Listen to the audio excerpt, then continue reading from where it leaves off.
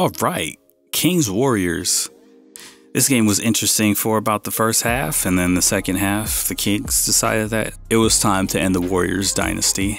Klay Thompson dropped the goose egg in this game, and it's really, really sad and disheartening to see the Warriors go out this way. You know, the way they went out against the Lakers last year is admirable. They fought hard, they made it to the second round. A couple of plays this way or that way, and they're in the Western Conference Finals. So that that end to a dynasty you can understand, but this game, the blowout to a division rival on their home floor with your superstar player not playing up to what he used to be. It's really, really hard to watch. Now, there was a time maybe five or six years ago where the NBA fans would have loved every bit of this, but I feel like a lot of NBA fans actually feel bad for the Warriors.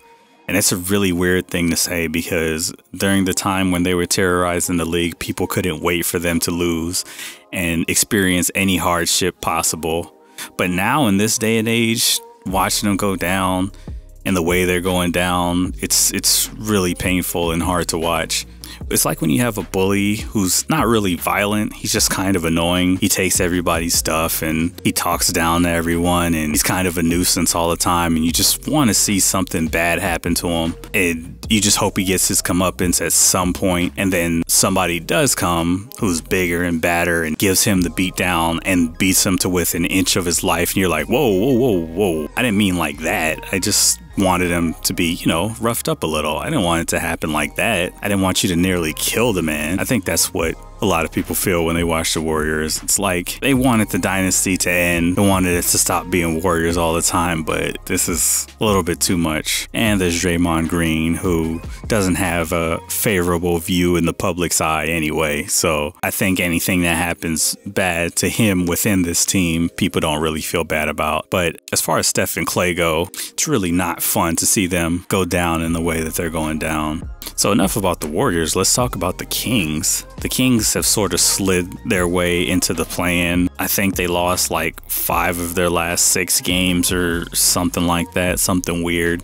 They were way up at like the sixth or the fifth seed and they fell all the way out of the playoffs into the play-in. They are missing some key pieces on their roster uh, Malik Monk, and then there's another one that escapes me at the moment. I'm gonna have to put that up. Yeah, they have a couple of key injuries, and it's just at the right, wrong time, which seems to be the case with them. They always seem to get the injury bug right at the wrong moment. Uh, I know Fox was going through some things last year in the playoffs. He won't say that, and he won't use that as an excuse, but yeah, and they get the sometimes it's just the timing and the bad luck of everything. They were looking like a top team in the West and things just sort of fell apart at the end. So now they have a chance to redeem themselves against the Pelicans, who themselves are on a losing streak on their own home court.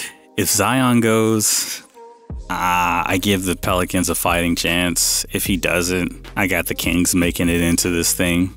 I mean, even if he's there, I still think the Kings have a completeness to them and the way they play that I don't necessarily see with the Pelicans.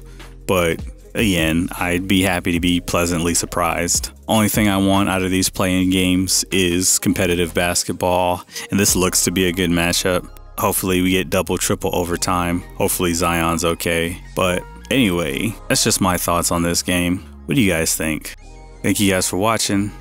Leave a like if you feel so inclined, and I'll catch you guys on the next one.